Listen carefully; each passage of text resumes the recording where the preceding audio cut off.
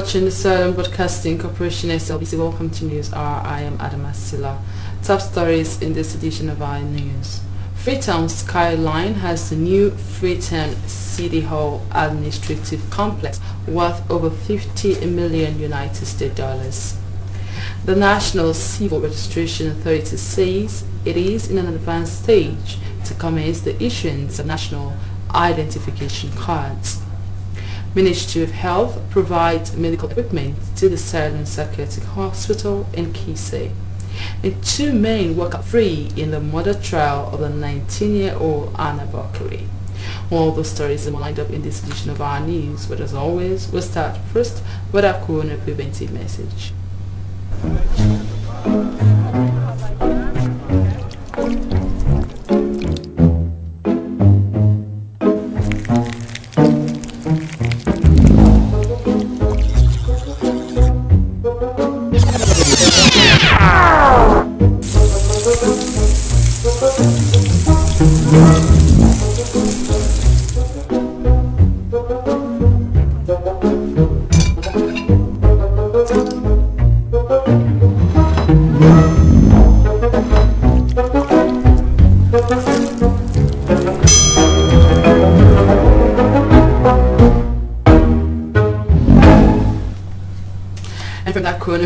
Preventive message, we'll now go for the news in detail. The new building of the Freetown City Council has been opened in Freetown. The edifice is worth over 50 million United States dollars and will add beauty in Freetown sky. The modern infrastructure with 15 floors, office spaces and car parks among other facilities will help generate revenue for the council and mitigate traffic congestion in the central part of Freetown. Minister of Local Government Tamba Lamina said the structure will increase efficiency in public service delivery.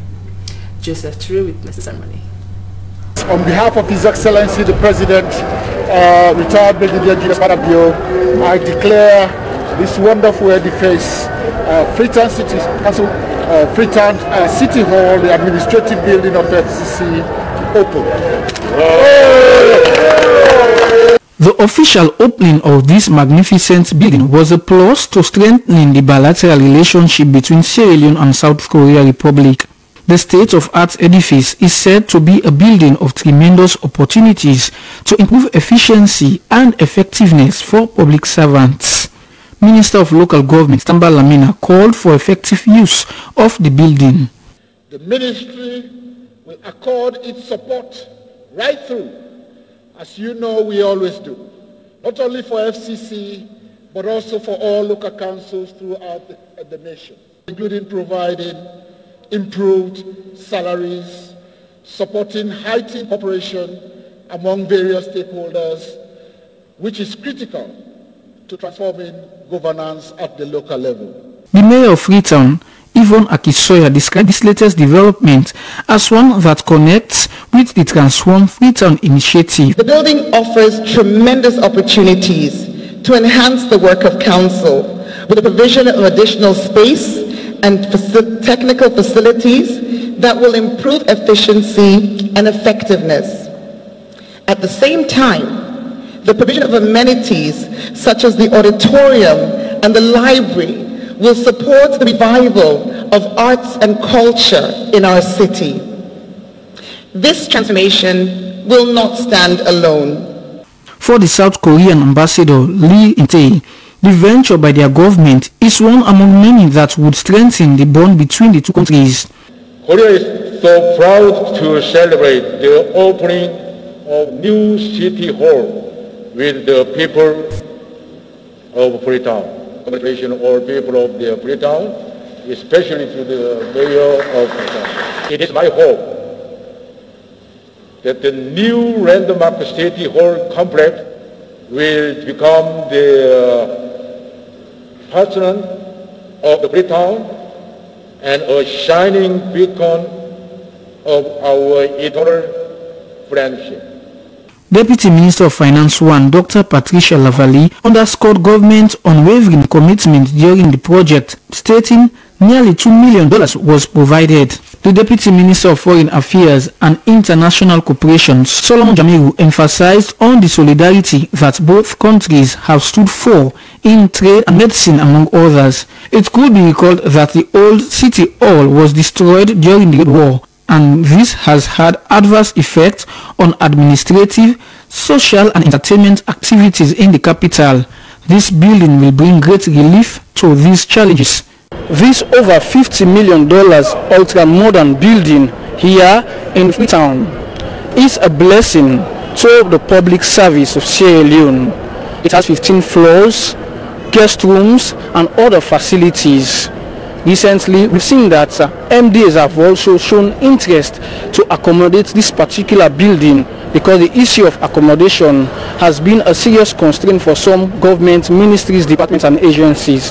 However, there are some with the opinion that the issue of maintenance should be highly upheld as that has been a serious challenge for many public buildings over the years. For SLBC, I am Joseph Toure reporting from the central part of Freetown. A year before the Freetown City Hall Administrative Complex was opened, our reporter Cynthia Kamara went to see how work was progressing, the offices to be occupied and the auditorium. It could be recalled that the project was financed by the Economic Development Cooperation Fund.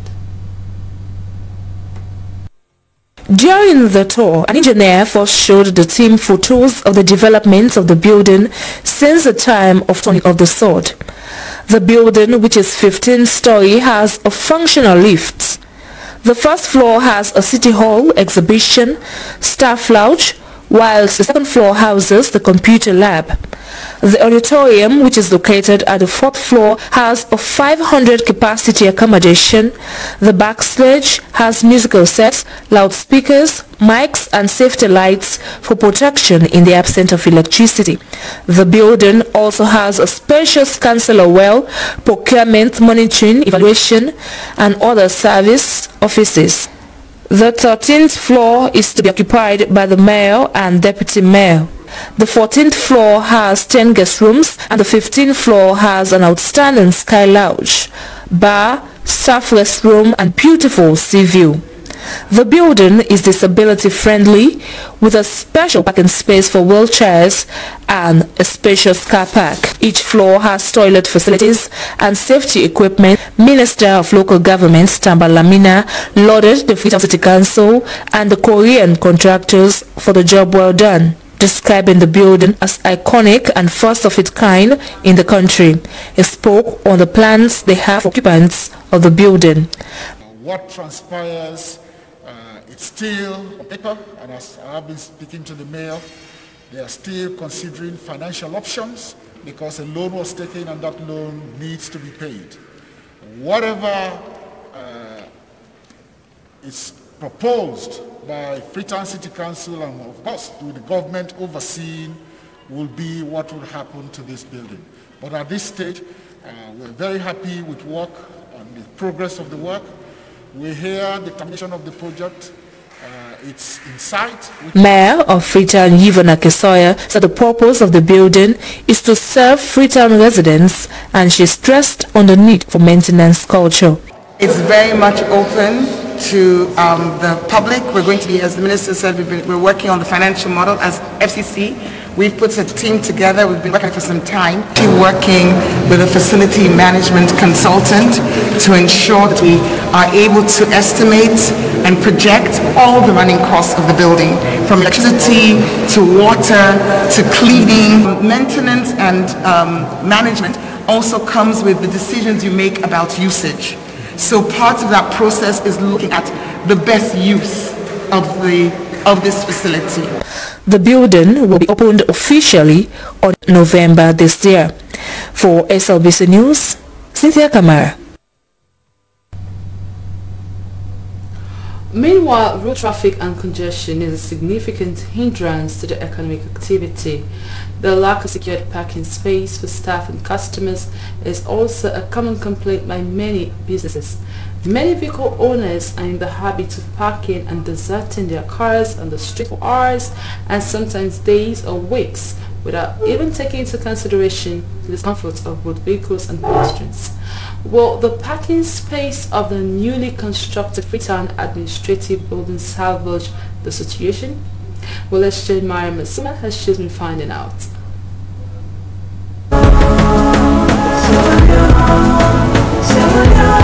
This is Freetown, a small but very busy city on the west coast of Africa. As in other cities, hundreds of vehicles flood the city center every day, where most business and other transactions are done. One big sector where they bring economics in the country. This sector is one that generates income in our country. And it will help improve on the socio-economic standards. And if we have free flow of traffic wherein the movement of people is faster, then there will be more improvement in the country's revenue generation. Meaning the movement of people will be fast. What we this believe save more money and this to bring more economy to the country. That is what we believe as a transport sector or transport partners. But there is very limited or no organized parking location. Hence, the narrow roads have been made narrower to either one-way traffic or have totally been cut off from vehicular passage. That's because there is hardly any building within the central business district area with its own car park space. Some vehicle owners are even making the situation worse by abandoning their automobiles on busy streets for hours and sometimes days or weeks, ignoring the discomforts to other road users, especially pedestrians. These men have taken advantage of the situation to generate income for themselves. They are their own employers in this regard so much of get right. So much of pay and promotion, so 5,000. We don't have a normal price. Some vehicle owners will give us 10,000, some will give us 5,000, and others will even give us 2,000, and we still appreciate it. We do not harass people. Where we have placed our tires is vacant, so we have occupied those places. We are doing this business because we are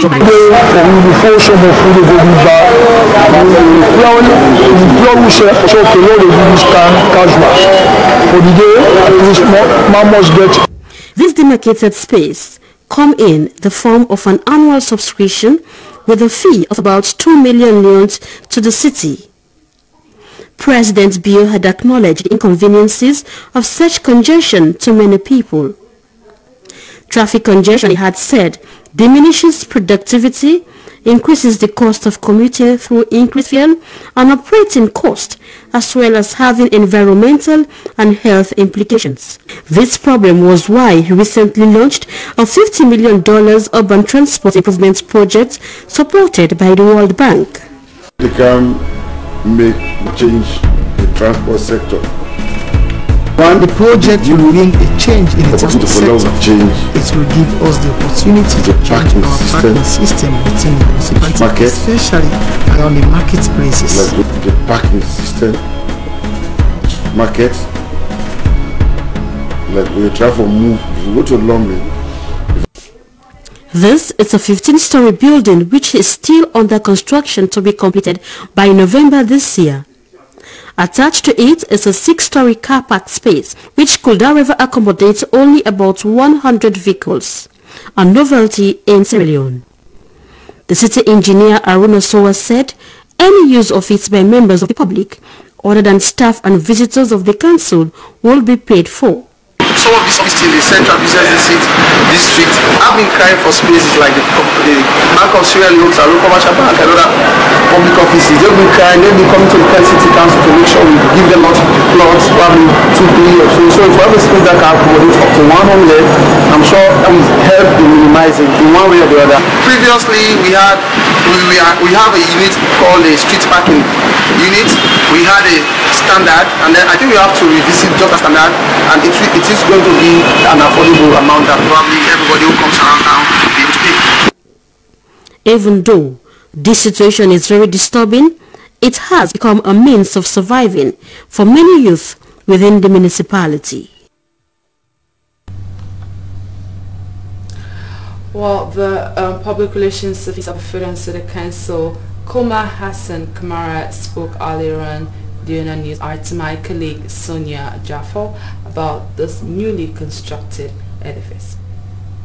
This was uh, support from the South Korean government and um, in partnership with the Australian government.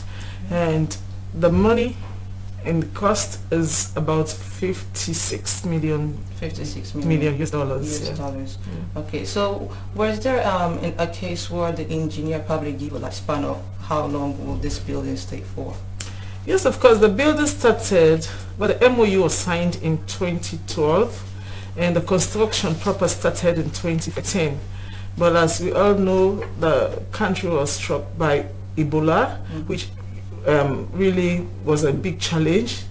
That was where the delay came and you know there were lots of so many things came to a standstill. Mm -hmm. So with that, you know the time has to be expanded and that is why we are about it's only now we are finishing the building the building so yeah. and how what's the warranty for the building how long will this building be there for well of course it has to be there for life and as a matter of fact it's one of the biggest building in Australia not only in Freetown and it's a multi-purpose building though it's an administrative building but we are also looking at service delivery you know um, even as we're transforming Freetown we want to see how we can transform Freetown with facilities around, not only for us, for, for the Freetown City Council, but also for people out there, for the Freetonians as well. Mm -hmm. So we have various services um, in terms of um, like what we saw just now, car parks. we have about yeah. a multi-purpose car park, about 100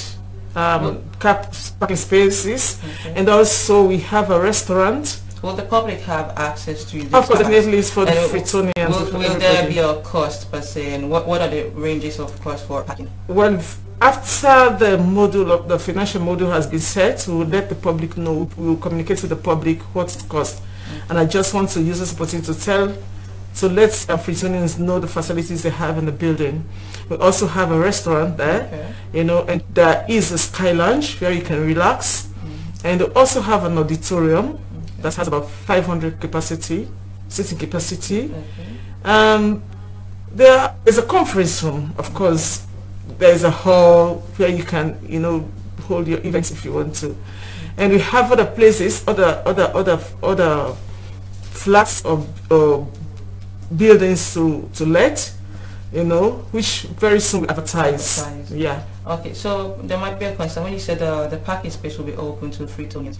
Is it going to be supposedly for private vehicles or even commercial vehicles also there? Well, what about um, instance where probably someone doesn't have a private vehicle but had to charter a taxi and probably want to use that parking space? Will they be allowed?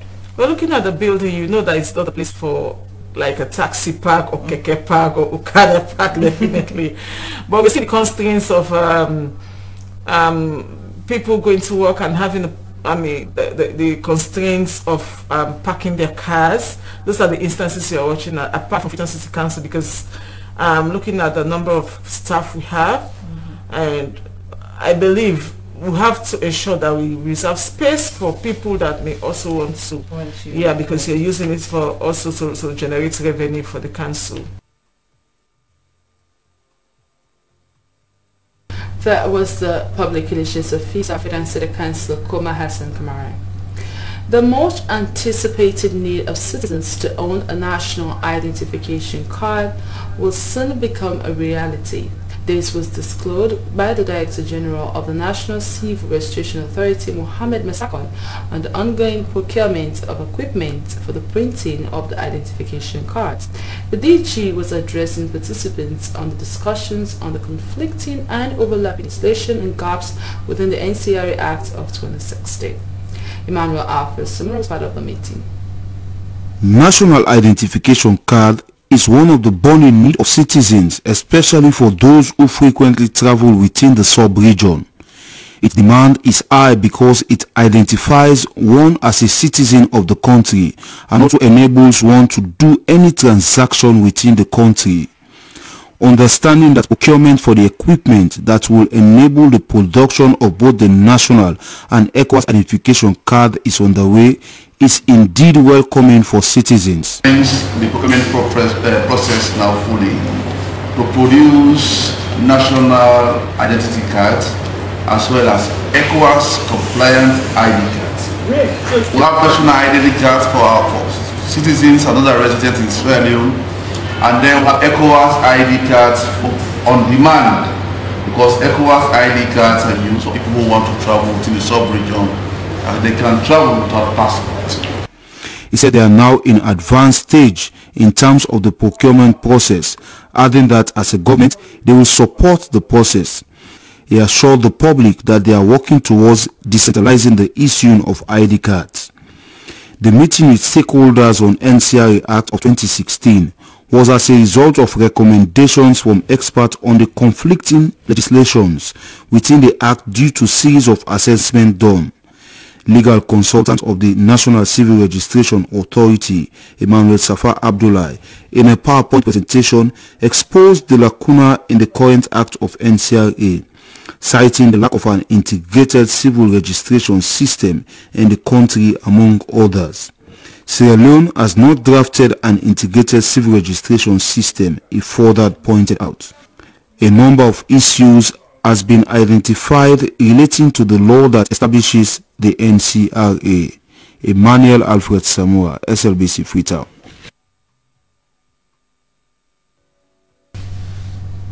In a bid to strengthen the health sector, the government through the Ministry of Health and Sanitation has provided equipment to the Sierra Psychiatric Hospital in Kissy.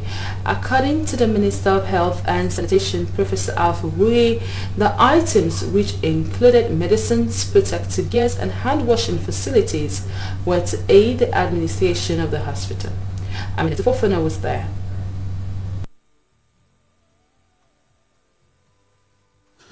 The Sierra Psychiatric Hospital, located in eastern Freetown, was established many years ago mainly for patients with mental disorders. Since then, many citizens who are faced with mental challenges have been referred to the hospital for treatment. Previously, the hospital was faced with many challenges which ranged from insufficient staff to dilapidated structures and lack of medical equipment for an effective functioning of the hospital. President Bio earlier this year visited the hospital and pledged to maintain its facilities and provide them with needed items. To fulfill his promise, the items were officially handed over to the hospital by the health minister. Can you now just imagine what has been the mental consequences of the people of this country?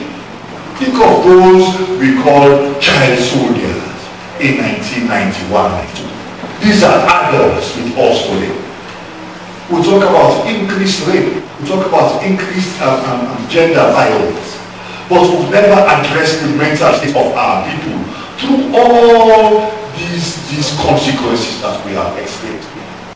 On receiving the equipment, the head psychiatrist at the hospital, Dr. Abdul Jallo, thanked the government for their support and said the items were timely and very important for the operation of the hospital. He recalled that previously they were faced with shortage of equipment which made their work ineffective. It was hard, it was difficult, it was frustrating before because this hospital was better for, for four decades. But thank God within these two years things have changed.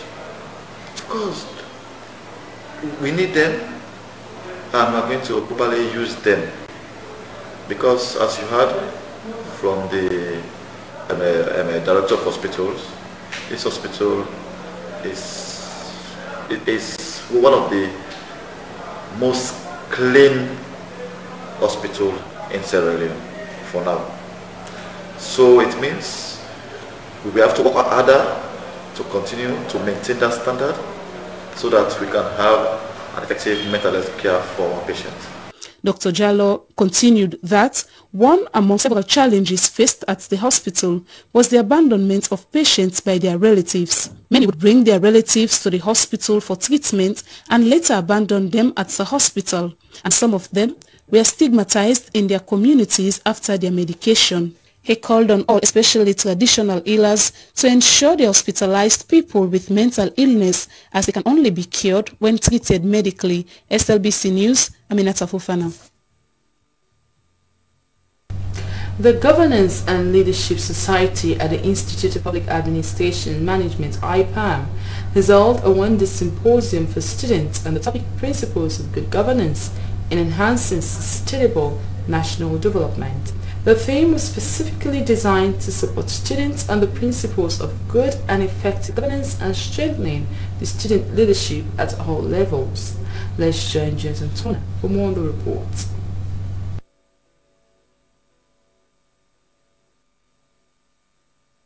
The university is seen as a platform that shapes the skills of will-be leaders of a country. The symposium was to broaden the horizon of the students, especially on how to make them become better leaders. President Governance and Leadership Society Momo Flea pointed out the symposium gears towards sharing of knowledge among student leaders at IPAM on the approaches of building strong institutions. What the aims and objective of your society or organization is for.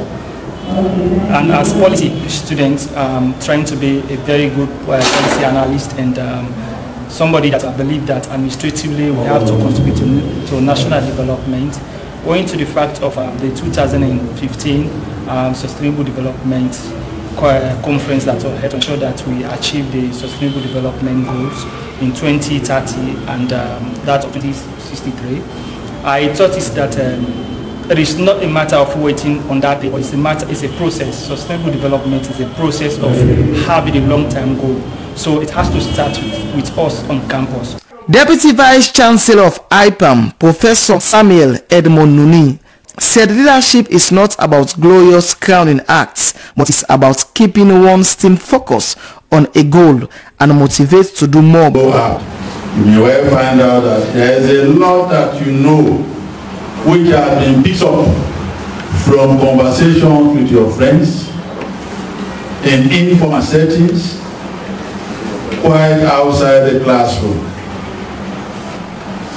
Usually, the second teacher, the second set of lecturers in the university, for you to have a balanced university education, are symposia like this. Deputy Commissioner National Youth Commission Emerson Kamara said when students understand the principles of good governance and leadership, they will make informed decisions when they are in place in position of trust in future. The behavior of people are, are changed if you don't try to win hearts and minds and change mindsets within the public sector and, and help transform people from, from trying to amass wealth for themselves and trying to optimize public good, then, then you will not achieve anything else. Other speakers were impressed with the cordial. Other speakers were impressed with the cordial relationship between the Governance and Leadership Society and other departmental societies within and outside the Institutes of Public Administration and Management. For SLBC News, Jonathan Turner reporting. Now, due banking financial transactions are the order of the day, Orange, Leone and EcoBank have launched the Orange Money Bank to Wallet service. Aruna Patrick Mar reports. The Orange Money Bank to Wallet service partnership with EcoBank is to make easy financial transactions especially in the regions. Bank to Wallet is a mobile money service that allows subscribers to withdraw and deposit cash into their bank accounts through their Orange Money wallets. For one to be part of the EcoBank Orange Money wallet, a customer must have an EcoBank account and a SIM card activated on Orange Money with full details. Chief Executive Officer Orange Money, David Masari, said Orange Money has made life of Sierra Leoneans easy by making money transaction easy, especially in the region. He said Orange Money partnership with EcoBank will help people open an EcoBank account in any part of the country, adding that it will allow customers to transfer from as low as 10,000 Leones to 15 million Leones per day to and from their bank accounts into their wallets. The managing director of EcoBank Sierra Leone, Annie Moore, said banking is not about where you go, but what you do, noting that with digital revolution, the financial aspect is key in taking the lead the reason they decided to partner with Orange Money. Said the EcoBank Orange Money wallet would help withdrawal from the bank easier and accessible as their aim is to ensure they have less people coming to the bank for money transactions. Launching the partnership, The board chairperson Orange Money, Amnata Kane, who doubles as the CEO Orange Sierra Leone, said they are pleased to partner with EcoBank in promoting digital money transaction and make access to money easier for the people.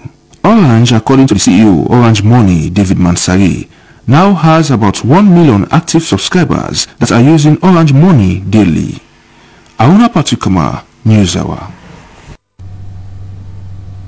The Sierra Leone Nurses Association, in a bid to address negative complaints against some of its members, has concluded a symposium with nurses in the charge of hospitals in the western area. The symposium was to find a solution to the problem and map out strategies for quality patient care with a view to salvage a threat that put the image of the noble profession in disrepute. Let's join Joseph Stanley for more. Healthcare problems in Freetown, among others, are monitoring, mistreatment of patients, shortage of drugs in public health facilities, as well as patient population is far beyond the available staff. Recently, some nurses and paramedical staff turned down appeals to treat dying patients, a situation the president of the Sierra Leone Nurses Association, Betty Lemore, described as unacceptable. She disclosed that nurses are the largest workforce in the health sector and should be professional in carrying out their duties as they are dealing with lives. Um, we want to improve on nursing service delivery and we want to unify nursing in, within the country. As you, I know you are aware, so many trends have been happening in healthcare. Nurses are now being taken to courts, they're taken to police and other things and we want to see how we can reverse that trend to see us regain the face of nursing. Last time we want to let nurses know we have a role to play and one key role we have to play is to improve healthcare service delivery. We are there to improve care to patients and not to implement fear into patients. So we want to come back to the drawing board and discuss what have changed and see how we can address the change. Betty Lemo informed nurses that they have major role to play for patient care and encourage them not to relent in their stride for excellence, especially in the fight against COVID-19. She advised nurses to respect their clients at all times, stressing the need for them to have passion for their job as they are dealing with lives that is not for sale. The president of the Nurses Association encouraged her colleagues to go as manager and mentor in their respective health facilities to enhance quality health outcomes, especially for women and children. Senior Human Resource Officer, Minister of Health and Sanitation, John Conte said nurses are accountable to the public and the ministry to promote professional code of practice, conduct and ethics in their various duty stations. Custom that the Ministry of Health is standing alone, that we are not civil servants. No, we are civil servants. We are governed by these regulations and rules. That is why appointment is not coming from the Ministry of Health, does it? It's coming from the Director General of Human Resource Management Office, not so? Alright, that's to tell you that you are governed by this rule. He said Nurses Code of Ethics is a relevant document that will help them make the right decision and more comfortably better serve the patients. The registrar of the Nurses and Midwives Board, Christiana Masali, encouraged nurses to disseminate the knowledge gained to their junior colleagues as nurses should take leadership role in their place of work. She expressed dismay over the negative behavior of some nurses as much is expected from them, adding that those found wanting will have their license withdrawn. Movement for Youth and Children's Rights Organization has launched Youth and Police Community Club in Waterloo. The group will help reduce the incidence of violence in that part of the country. Director of Movement for Youth and Children's Rights Organization, Madam Makovere, said building the Leone will one starts with a voice of free society. Nothing that a brighter future for a Leone rests with the youths. Let's join Jeta Turner again. Lawlessness has been acknowledged to be very much alive across the country, especially in the Waterloo community. Many say it is a safe haven for criminals. This sensitization by Movements for Youth and Children's Rights Organization was born out of their organization's desire to disabuse the minds of youth from violence and criminality. Madam McAvoy, Director, Movements for Youth and Children's Rights Organizations, believes it is time to have a paradigm shift in the way the Sierra youth thinks and acts called on them to take responsibility towards personal and national development, stressing that the youths are both the present and the future. Because it is only these that we can experience peace and development. Because development starts with peace. Without peace and tranquility, we can't talk about development. So as an institution, we are movement for youth and children's rights. So we believe that young people have the right, the right to peace, the right to live in a sustainable society. But one of the primary things is peace. And these are the two people right now. And we don't want a rec re recurrence of the war. We've, we've, experienced the, the, the, brutal civil war that caused a lot of um, atrocities in this nation. So we want a society that is peaceful, a society that is full of hope, tranquility, justice. Members of the Waterloo community were impressed with the Movement for Youth and Children's Rights Organization's initiative and promised that with this approach, they will maintain the peace in their communities. For SLBC News, Jonathan Turner reporting. Meanwhile, a distress letter written by the husband of a pregnant woman to the Ministry of Health and Sanitation and the Human Rights Commission regarding alleged negligence which led to the miscarriage of his wife at the Rokupa Government Hospital on the 21st of May 2020 has been making rounds on social media and has attracted the attention of the public. According to the complaint, the attitude and negligence of some nurses and ambulance drivers led to his wife's miscarriage. Emmanuel Alfred Samura has been following the story. When a baby is born, parents love to send around pictures of their newborn. It is one of the things parents are fond of doing, especially when the baby is perfection personified. But who wants to be sending pictures of a dead baby? I was so mad and so sad and frustrated. And up to now, I'm the saddest guy here. I don't think I don't think there's there's anybody that is so frustrated like me about this country. Because people are trying to make things better, but it's not working. Nasiru said the severity of his wife's condition when they got to the community health center made her to be transferred. He said at the Rokupa government hospital, his wife was scanned and was then told she had placenta previa 2 centimeters and that she was bleeding. He said his wife emerged for three days at the Rokupa government hospital and was not well taken care of by even the nurses before she was later transferred to PCMH where she was operated on the fourth day and unlucky for them they lost the baby. As a sub, he came back to the Rokupa government hospital to inform them that because of their lack of care for his wife, their dream of having a baby was aborted. Nasiru said he felt bad because even the Ministry of Health did not respond to the many complaints he made on the negligence of the hospital that caused the life of his child. Ministry of Health said they reacted upon receiving the complaint from Nasiru but did not make it known to him.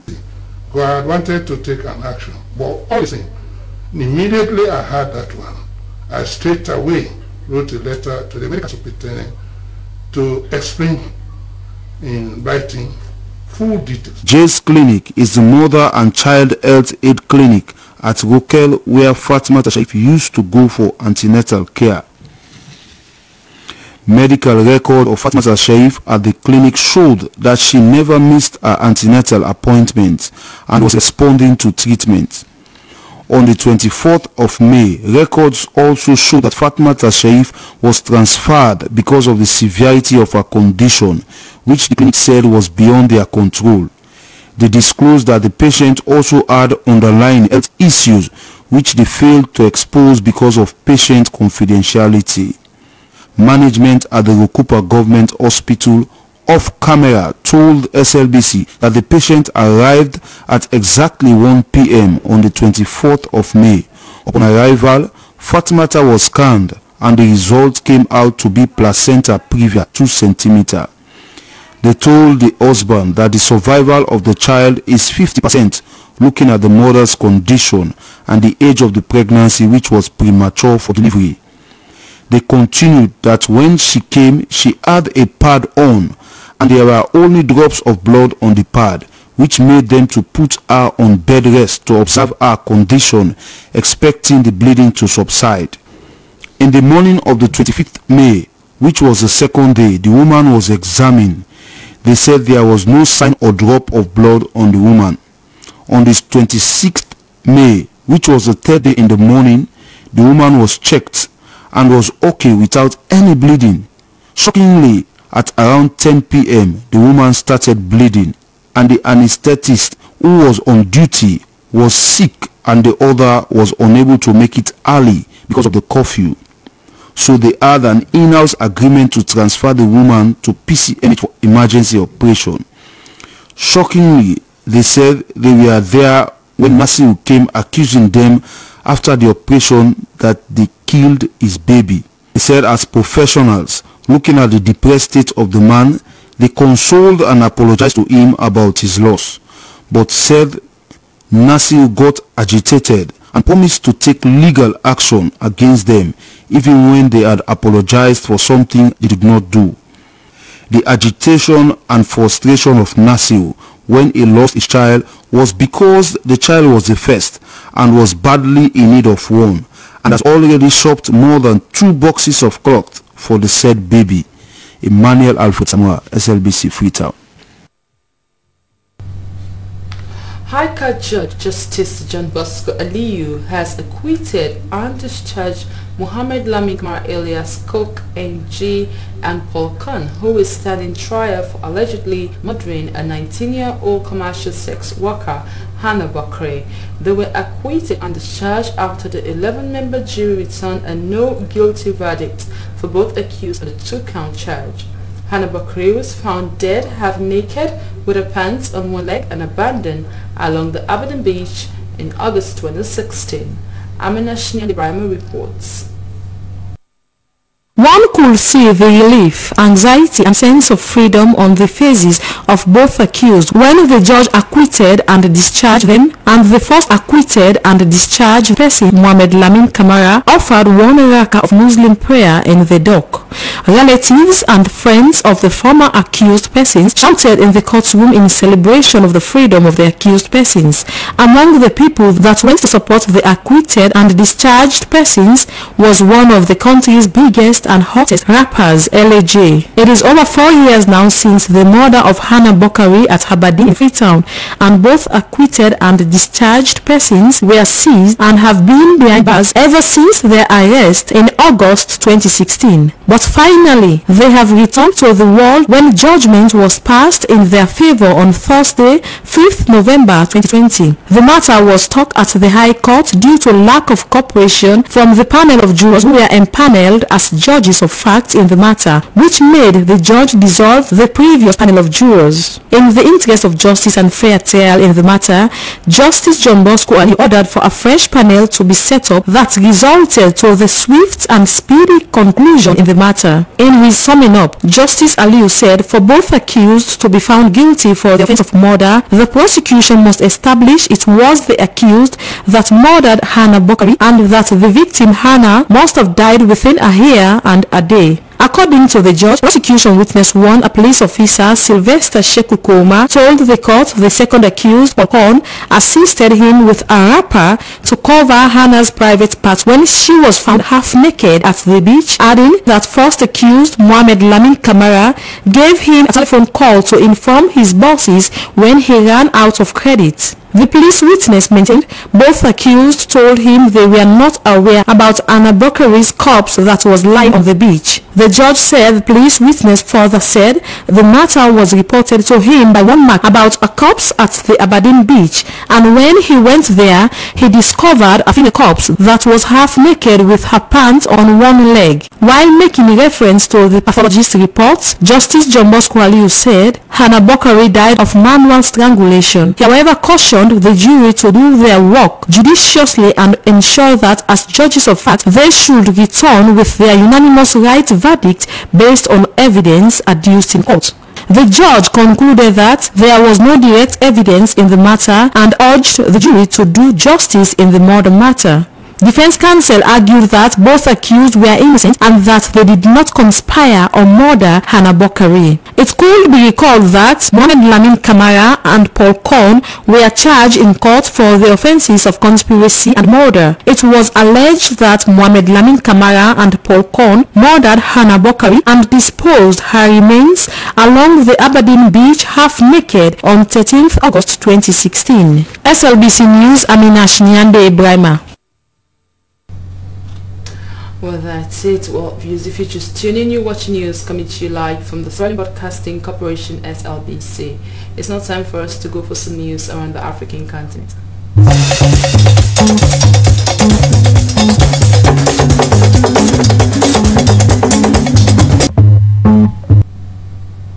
And for news around the African continent, Burkina Faso's President Roch has launched his re-election campaign promising to deal with the growing threat of Islamist militancy facing the country.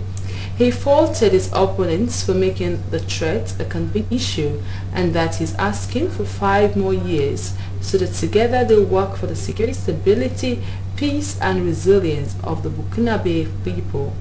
He has been facing criticism over his handling of the Islamist insurgency, a threat that has spread across the Sahel region.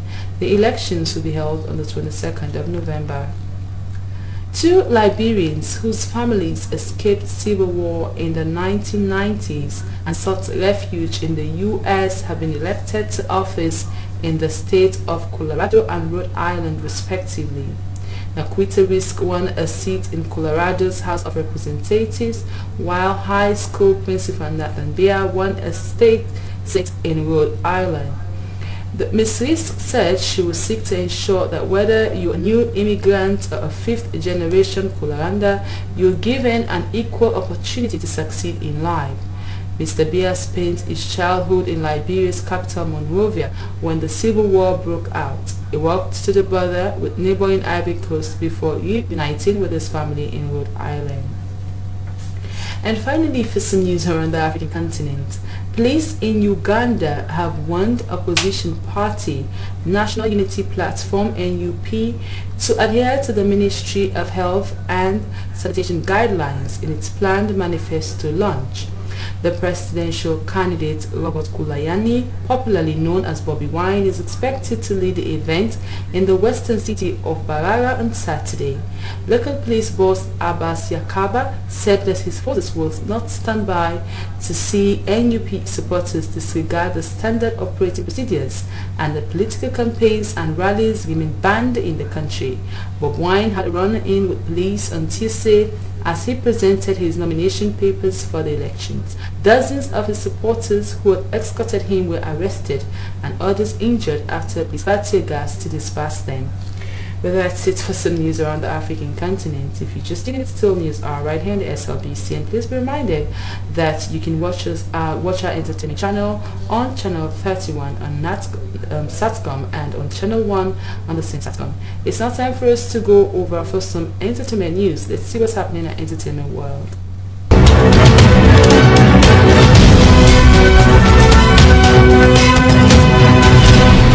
Hello and welcome to Entertainment News. I am Cynthia Kamara. Presently, we are here at Shangri-La, the sister eviction location, to look at the atmosphere. As we all know, eight top roommates are up for eviction. We want to know whether their funds to accommodate this place as we are all set for Sunday's eviction. So join me as we tour the facility here at Shangri-La, Aberdeen.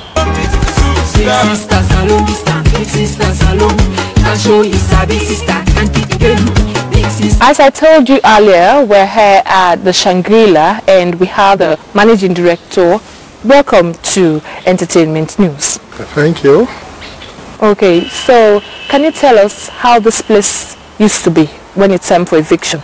Well, normally, consider the past couple of Sundays, for example, immediately you went outside, you see the momentum, fans are how they are cheering their whatever person they are supporting. Yeah, they come with different things out there talking, dancing, beating everywhere before they start coming in. Once also they are inside, normally also they also talk to them once they come in, they normally have friends who they also cheer with. They have their gumbes, whatever thing they come with to help to elevate whosoever they are in in this place. Okay, so what do you expect to see this Sunday? Because we have eight top roommates that are up for eviction. Do you think this place will accommodate all fans? Yes, for sure, because as of now, we are using outside here. We are also using some of these floors also. So we have let me say we have cameras that are also projecting upstairs for all those upstairs so that we can be able to see whatever thing they are um, doing downstairs here as well. Okay, so what type of people are upstairs? Because we can see up and downstairs. I think the VIPs or the VVIPs they are normally upstairs. Oh, that was the manager of Shangri-La Mutar Bangura. Thank you for joining us. So now join me, let's continue the tour. Sister Salute, I tell you story, sister, count in your money. Yeah sister. Salon number one to tell your sister. Make them vote for Rod and Blow. Your sister. It can be a minister. Tell your sister. So here's the stage that they normally interview evicted roommates. So who knows what might happen this Sunday? Who might be the roommates that will be interviewed here? As we know, eight roommates are up for eviction. We'll find out soon. Yeah.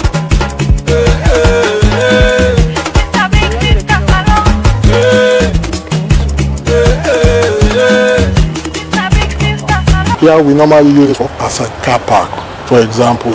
Also, it depends on the number of people we are expecting. For example, we have a large number, we can also put projector screen there so that people can able to see from that other angle. Okay. This is the entrance for someone to come in. Okay, at that entrance, do they allow people to put chairs to sit? No.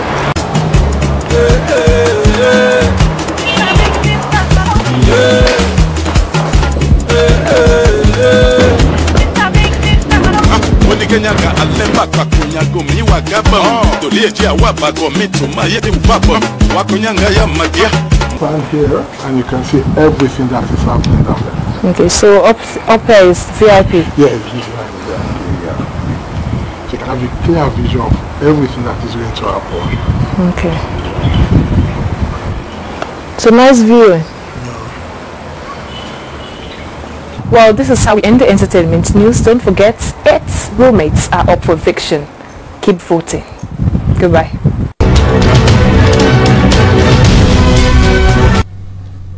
Many thanks to entertainment reporter Cynthia Kamara. It's now time for us to go for some sporting news.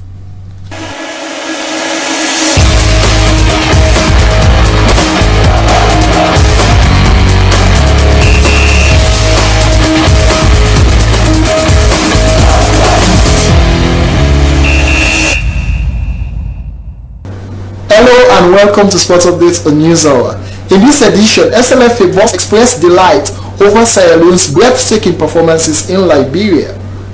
Now, the Sierra Leone Football Association President Isha Johansen has organized a dinner for Sierra Leone's male under 17 and female under 20 teams as a show of appreciation for their breathtaking performances in Liberia. The SLFA boss dined with players because of their breathtaking performances. SLBC Sports follows the story. A delegation which departed Sierra Leone for international friendlies in Liberia was greeted with delight by the Sierra Leone Football Association president and a secretariat staff. A contingent of both the female under-20 and the male U-17 teams were highly impressive in Liberia. The Sierra Leone female under-20 won two out of their three matches played in Liberia, while the male U-17 won all three matches. Coaches and players from both teams were excited for the treat. She thanked the players and officials and registered her unconditional support to them and the growth of football in Sierra Leone. They don't care about that. It's about Sierra Leone, the pride of a nation pride of a nation. Everything. This is a family. We are a family.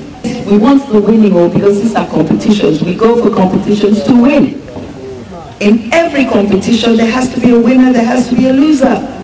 Head of delegation Aliyu Badarata said the under-17 male side is one of the best teams he had seen so far in the history of Sierra Leone football, noting that the FA should make all reasonable efforts to keep both the U17 and that of the female under-20 together.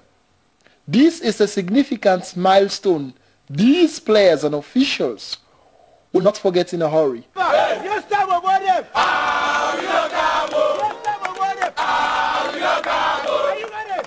Remarkable achievement for Sierra Leone youngsters, particularly the under-17 and that of the U20 female side.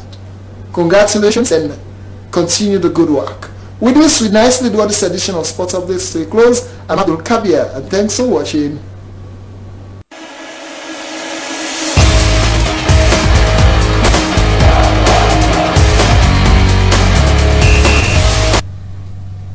Many thanks to our sports correspondent Abdul Kabia with views that's it. That's all we have time for in this edition of our local news right here on the SLB. But before we draw down the curtains, finally, let's take a look at top stories that made up the news for today. Freedom Skyline has the new Freetown City Hall administrative um, complex worth over 50 million United States dollars. National Civil Registration Authority has said it is in an advanced stage to commence on the issuance of national identification cards. And the Ministry of Health has provided medical equipment to the Sierra Psychiatric Hospital in Kissy. Two men have been acquitted in the murder trial of the 19-year-old Anna Bakri. The 19-year-old was a sex worker who was a sex worker was murdered around the Aberdeen beach in August 2016. Well, that's how we draw down the curtains on today's news broadcast. Many thanks to you for watching. I've been your presenter, Adam Masila, saying bye-bye. Enjoy the rest of your evening and do have a lovely weekend. Continue watching the SLBC. Bye.